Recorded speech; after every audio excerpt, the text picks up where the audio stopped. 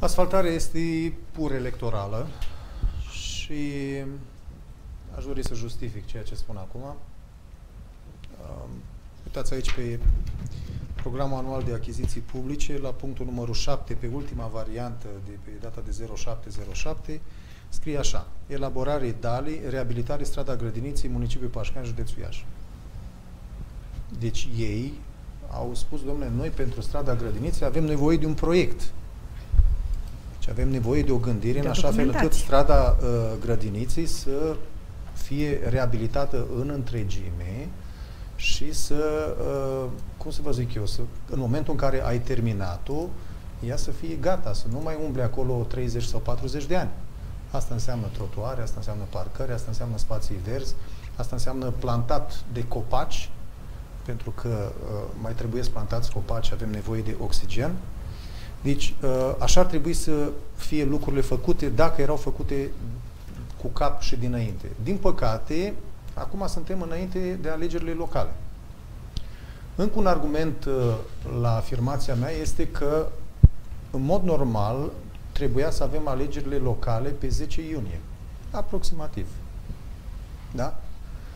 Uh, deci, astăzi, noi trebuia să avem toate aceste asfaltări făcute din martie, pentru că vremea a permis și mai mult decât atât am avut această și avem în continuare această nenorocire cu pandemia.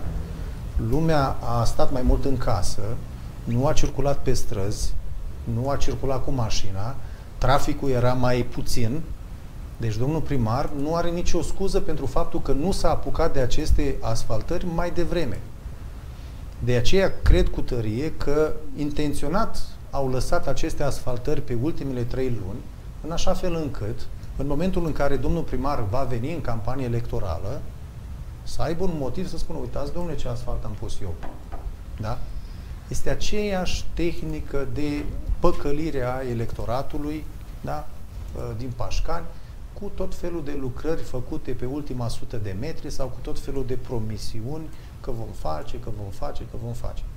Deci, ă, acestea sunt argumentele pentru ceea ce se întâmplă astăzi în Pașcani cu asfaltarea și uh, să înțeleg că după ce terminăm cu asfaltarea pe strada Grădiniței, vom avea un proiect și va trebui să scoatem din nou toate bordurile de acolo și să reparăm iarăși asfaltul în, în momentul în care vom scoate bordurile.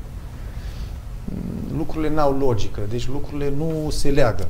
Cam asta este situația de la Pașcani și sper că pășcănenii uh, vor înțelege Sper că pășcălenii au priceput cine este uh, Dumitru Pantazi și ce capacitate au cei uh, din echipa PSD. Iar dumneavoastră spuneați mai devreme cine îl va penaliza pe domnul uh, primar Dumitru Pantazi. Eu sper că oamenii îl vor penaliza la vot. Pentru că singura metodă să penalizezi pe cineva este să-l trimiți acasă în momentul în care nu a făcut ceea ce a promis în campanie electorală.